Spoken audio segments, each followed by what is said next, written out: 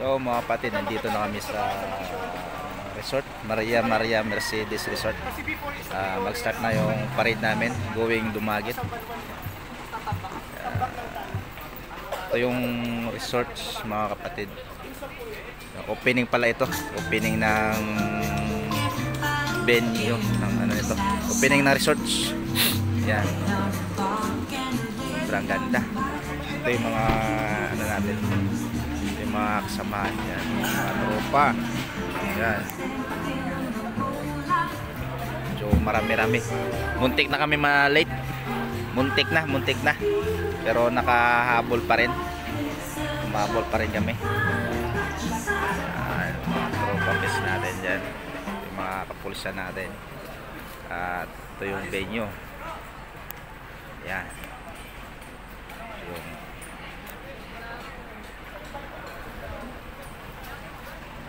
mga kapatid. Hintayin na lang natin. Alis, alis na tayo.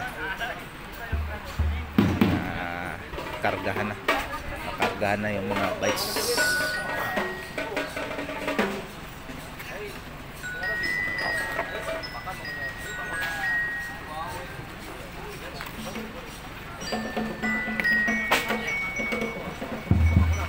Oh yeah. Start na start.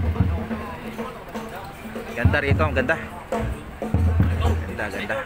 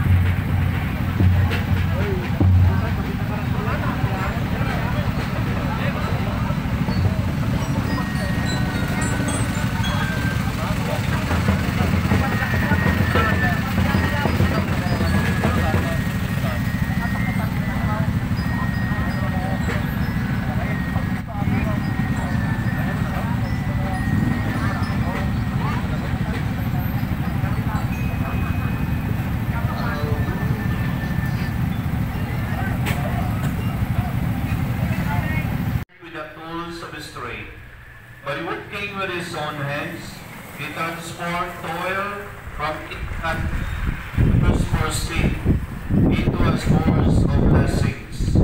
If we do well, whatever it may be, and offer to God, we purify ourselves to the labor of our hands and minds. We build up God's creation.